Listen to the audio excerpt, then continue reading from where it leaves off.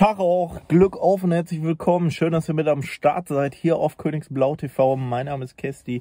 Wenn dir der Content hier gefällt, lasst gerne ein Abo auf dem Kanal da und ähm, ja, schau mal regelmäßig rein. Äh, warum spreche ich heute mit euch? Und zwar Peter Knebel hat in den Sack gehauen. Äh, der wird bis Ende der Saison noch bei uns sein und wird dann äh, ja offensichtlich in die Schweiz ziehen. Äh, hat offen, er hat selber bekundet, dass er ganz gerne ähm, in die Schweiz ziehen möchte. Das sind einfach seine persönlichen privaten Pläne. Ähm, inwieweit das natürlich immer so stimmt und äh, äh mit Sicherheit wird er in die Schweiz ziehen, glaube ich schon, dass das stimmt. Aber ob das der ausschlaggebende Punkt war, um jetzt in den Sack zu hauen, äh, ist natürlich die große Frage. Intern stand er stark in der Kritik. Äh, laut der Bild-Zeitung ist er auch oft wohl für äh, Probleme, die auf Schalke ähm, gewesen sind, ja, einfach hergehalten worden äh, seitens des Aufsichtsrats. Ich finde das ein bisschen, äh, ich finde die äh, Berichterstattung der Bild, muss ich da wieder sagen, finde ich grundsätzlich eigentlich schon immer sehr tendenziös, weil ähm, der Bildzeitung kann man durchaus eine äh, gewisse Nähe zur äh, Clemens Tönnies auch nachsagen und äh, irgendwas rumort ja wieder mal auf Schalke. Irgendwas ist da ja wieder äh, am, äh, am Brodeln.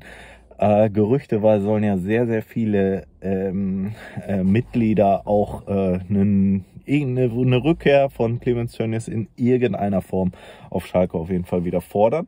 Deswegen ähm, ja, sind solche Berichte seitens der Bildzeitung für mich auch immer sehr stark mit, ähm, mit Vorsicht zu genießen.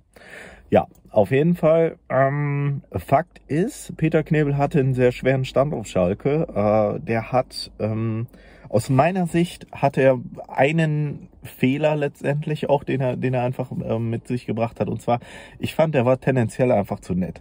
Schaut euch an, wie kann man jemanden äh, nach Hause schicken, nachdem er in den Sack gehauen hat, äh, sprich Rufen Schröder, äh, und äh, kann ihm dann noch hinterher sagen, ja, oh, die Zeit war so toll mit dir und es war so schön, obwohl der gerade einfach das sinkende Schiff verlassen hat, aber zu Anfang äh, der äh, Bundesliga-Saison. Wie kann man da jemanden noch so nett hinterherrufen? Wie kann man das, wie kann man da in dem Moment nicht umschalten und in den Vereinsmodus gehen und sagen, ey, hör zu, wenn du hier äh, war schön und gut die Zeit jetzt mit dir, aber wenn du jetzt gerade hier äh, dich verpisst, sorry, aber dann, dann, ähm, ja, dann äh, brauche ich einfach diese Rede nicht zu halten. Ich kann ja privat von ihm halten, was ich will, aber äh, ein Zeichen von Stärke war das aus meiner Sicht nicht und dementsprechend, ähm, ja, äh, ist Peter Knebel für mich einfach, ja, jemand, der nicht unbedingt äh, ausstrahlt,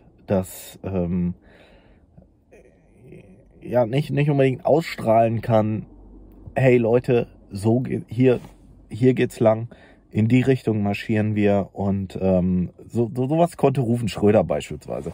Rufen Schröder, den hast du auf die PK gesetzt, den hast du einfach äh, da sitzen sehen und du hast dem verdammt nochmal alles geglaubt, was der gesagt hat. Und wenn er gesagt hat, wir laufen jetzt in die Richtung, dann laufen wir in die Richtung. Ja, das hat einfach Spaß gemacht, dem Mann zuzuschauen bei der Arbeit. Genauso ist es bei früher bei Rudi Assauer gewesen, bei Hüb Stevens. Ja, das waren richtige Führungspersönlichkeiten.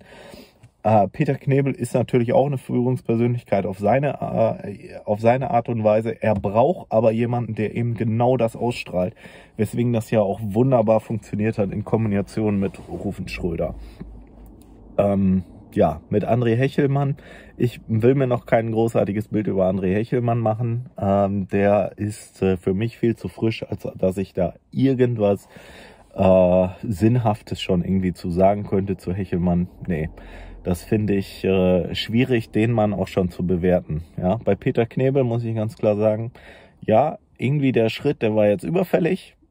Ja, es ist schön und gut. Es hat bis zu einem gewissen Zeitpunkt sehr gut gepasst, eben, ne, wie beschrieben, in Kombination mit Rufen Schröder äh, hat das sehr gut funktioniert. Aber jetzt aktuell in der, in der jetzigen Situation ist er einfach nicht mehr der Richtige. Weil, sorry, schaut euch die letzte Saison an, wie die abgelaufen ist. Schaut euch diese Saison an, wie sie jetzt aktuell abläuft. Das ist auch einfach eine Geschichte. Da muss der Sportvorstand für gerade stehen. Und Peter Knebel macht das jetzt und äh, nimmt selber den Hut und äh, geht. Und ähm, ich finde es die richtige äh, richtige Entscheidung für ihn und äh, auch für Schalke 04. Und äh, ja, das äh, war mein Kommentar dazu. Wie siehst du das? Schreib's in die Kommentare. Ähm, und äh, dann sehen wir uns beim nächsten Video wieder.